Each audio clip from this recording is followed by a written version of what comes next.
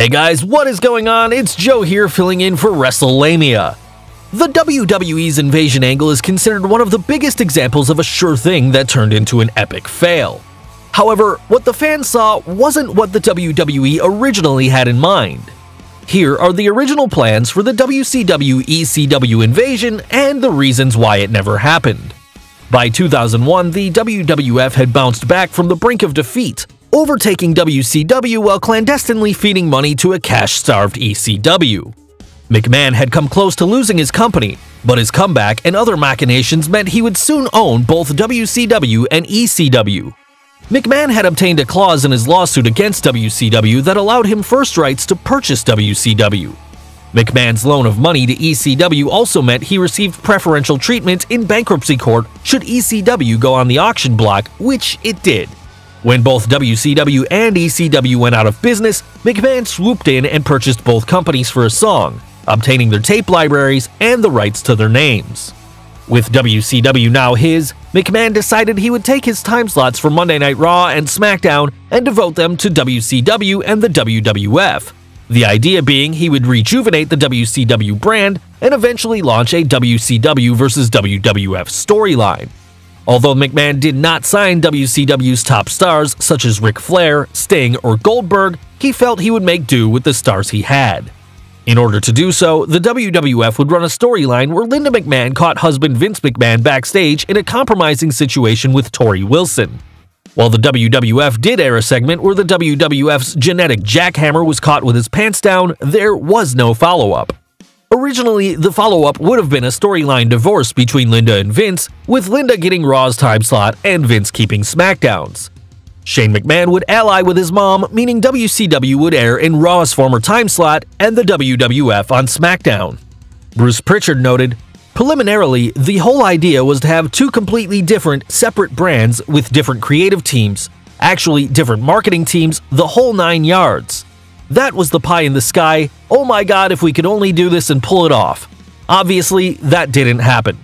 Given the WWF's amazing job in turning its own moribund promotion into a corporate juggernaut, recall the WWF had gone public in 1999 partially based on its remarkable turnaround, there was hope that the promotion could work its magic and rebuild WCW into a thriving brand.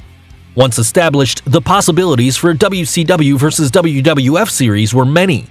Would the two companies battle in an invasion? Would they compete annually in a Super Bowl type competition? First, the WWF would have to get WCW back on its feet. Vince McMahon didn't see that as a problem, but as a challenge. He even toyed with the idea of airing it on TBS. According to the book Sex, Lies, and Headlocks, McMahon also irked Kerry McCluggage, a Viacom executive, when, during the course of his negotiations to purchase WCW, he argued he should be allowed to produce a version of Nitro for TBS. McCluggage scratched his head in disbelief, wondering what Vince thought he'd signed when he agreed to the exclusivity clause with Viacom. Vince had moved Raw from the USA Network to Viacom's TNN in 2000, which makes it understandable why Viacom's executive didn't want to see Vince helping the competition. Nevertheless, the possibilities were enticing. Former WWF creative executive Bruce Pritchard has gone on record as saying, The interest, just so it's clear, what we were interested in was if there was a possibility that it could remain on TNT. The time slot was interesting. Being on another network was interesting. Being able to take the brand and expand it on an already established time slot, on an already established network, so that was attractive at the time. When we found out that really wasn't going to be a possibility, it changed to the library. Undaunted, the WWF continued its quest to revive WCW with its own show. With Viacom's rivals unavailable to air Nitro, the WWF looked to airing Nitro on TNN. The WWF faced problems getting a time slot. First, TNN's parent company Viacom did not want a WCW programming airing in the slot they'd purchased for Raw. According to the book The Death of WCW, Viacom, specifically the national network, TNN, which eventually became Spike TV, original home of UFC and TNA Impact, on which Raw aired, didn't want to do any more wrestling programs. They had enough. And they didn't want Vince to replace his highly rated WWF show with WCW, as they'd paid top dollar for the ratings Raw drew. And they didn't want those numbers to be potentially sliced in half. TNN refused to give the WWF a second primetime slot, telling them they could only fit them in on Saturday nights between 11 p.m. and 1 a.m. The WWF decided to make the best of the situation and began planning its WCW relaunch. The WCW relaunch was more than mere speculation or legend that's grown over the years. A review of the New York Daily News archives reveals that there were definite plans for a relaunch. In a special to the Daily News, Dave Shearer reported, The WWF announced last week that on June 9 it would run its first WCW show since taking control of the company. The event will air on tape delay on the national network, TNN, that night at 11 p.m. Since making that announcement, I have learned that the date may be pushed back, but the relaunch of WCW is coming, whether it's June 9 or shortly thereafter. With the WWF delivering much needed ratings to TNN, why would the network be reluctant to add another show, particularly one likely to deliver good ratings? Dave Shearer commented, but even though the addition of the WWF's Raw is War program transformed TNN into a top 10 cable channel, various industry sources have told me that TNN is less excited about adding two more hours of wrestling to its weekly schedule. TNN has used the WWF audience to roll out its new schedule of shows, but while the higher ratings have elevated the network from one that was known for truck pulls and rodeos to one that now can compete with basic cable giants USA and TBS, sources tell me that TNN doesn't want to be branded as a wrestling network. Yahoo's wrestling newsletter, Wrestling Newsletter Online, also discussed the WCW revival as well as the WWF soliciting suggestions for the show's name. The April 11, 2001 issue reported, the first WCW show under the WWFE umbrella will now be taking place at the Patriot Center in Fairfax, Virginia on June 9th. Jim Ross last week announced that the show will be taped and aired on Saturday night via a tape delay between 11 p.m. and 1 a.m. Eastern on TNN. WWF.com has a poll featuring a couple of names for the new WCW Saturday Night Show. Among the names featured, there are WCW Saturday Night Nitro, WCW Hotbox, WCW Uprising, WCW Late Night Appetite, WCW Hard On Saturday Night, and WCW Primal Urge.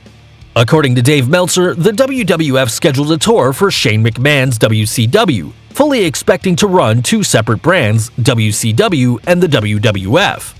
However, several forces aligned to make sure that this didn't happen. With the WWF making plans to relaunch WCW, the company decided to air a WCW match during an episode of Monday Night Raw. The match featured Booker T taking on Buff Bagwell, with Scott Hudson and Arn Anderson calling the match. The match was received as warmly as a two hour tribute show to Roman Reigns would be today. The WCW bout was a disaster, with both men putting on a lackluster bout and the audience making their displeasure known. Shouts of boring, this match sucks, and Goldberg filled the arena. Vince McMahon didn't like what he was seeing in the ring, and more importantly, what he was seeing in the audience bored fans. This debacle and other factors killed the idea of a WCW relaunch. Vince McMahon was still dealing with the fallout from the XFL's failure. If WCW flopped, it would be seen not only as a failure, but a failure at what McMahon did best wrestling. McMahon was also concerned with only having one show for his WWF superstars. Furthermore, ECW's owner Paul Heyman also told Vince that ECW should take the spot as WCW was dead. Ultimately, Vince McMahon killed the WCW relaunch and went with the invasion angle. While the invasion as we know it failed, wrestling lore has it McMahon toyed with the idea of visiting the angle in 2002, this time bringing in the big names he'd failed to hire the first time. According to a 2010 story, they, the UK magazine Power Slam, also mentioned that there was a proposed main event possibly at Survivor Series 2002 or around that time, consisting of what quite possibly would have been the greatest match of all time with Team WCW, formed of Hulk Hogan, Ric Flair, Goldberg, Sting, Kevin Nash, Scott Hall, Booker T, and Scott Steiner, taking on Team WWE, consisting of Stone Cold Steve Austin, The Rock, Triple H, The Undertaker, Chris Jericho, Kurt Angle, and Shawn Michaels, with the premise being that Team WCW would be formed by Flair and Eric Bischoff out of frustration for the previous invasion angle, which was filled with too many mid-card superstars and WWE names to be a proper WCW. And so Flair would assemble a team of expats to show the WWE what a true WCW invasion would be like. Unfortunately, Vince McMahon was reluctant to revisit the invasion angle, possibly because it would mean acknowledging the original's failure. Well, guys, there you have it the original plans for the WCW ECW invasion. Be sure to leave your comments and share your thoughts. In the meantime, make sure to subscribe to our channel so you don't miss out on any of our great videos.